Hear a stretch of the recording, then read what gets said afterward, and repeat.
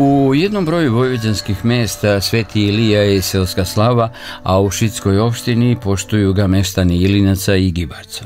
Kako je danas bilo u hramu proroka Ilije u Gibarcu, zabeležili smo kamerom, a paroh Jerej Branjslav Lukić o tome kaže sljedeće. Tradicionalno i ove godine proslavili smo našeg zaštitnika i patrona ovog sela, Gibarca, svetog proroka Iliju.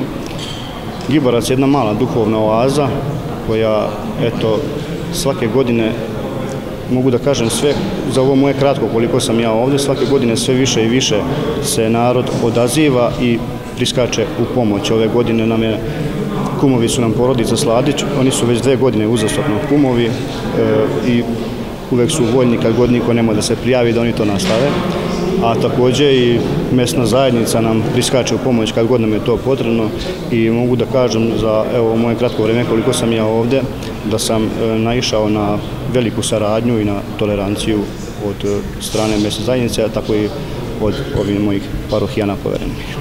Mještani Gibarca svog dolaska u selo iz Republike Hrvatske poštuju proroka Iliju, kaže predsjednik Saveta mesne zajednice Gibarac Milomir Ugrešić. Prvo bih vama htio da se zahvalim što ste došli i vi danas da uveličate danas slavu našeg mesta.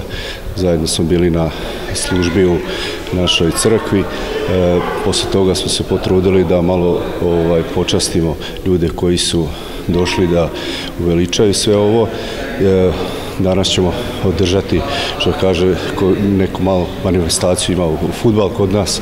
Biće ovaj, sve što, što je potrebno za jednu, za jednu slavu, znači obezirjoš za, za deca što će imati svoju zabavu, odrasli svoju zabavu, eto mi smo ovdje, što se, što se kaže, već tri, skoro 30 godina održavamo ovaj, u ovom selu e, slavu ovu našu i kao što i znate u samom početku nismo ni imali ovaj sveti dom što kaže crkvu i to smo se uspjeli sagraditi i svi zajedno sa sveštenikom i svi meštani ovaj, pokušavamo da što bolje uslove za naš život obezbedimo u našem selu. Najradosniji za seosku slavu su mališani uz bogati izbor igračaka i nizostavni ringišpilj, dok je za starije odigrana i futbalska utakmica između domaćeg Gibarca i gostujuće ekipe iz Kukujevaca.